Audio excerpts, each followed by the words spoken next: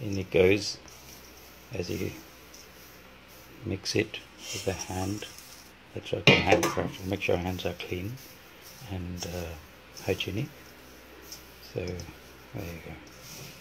This is a sample that we're creating with the tweaked formula, but for home as well, for friends and family. Um,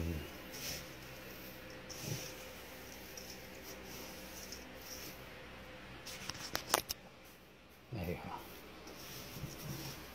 That is called lovingly made.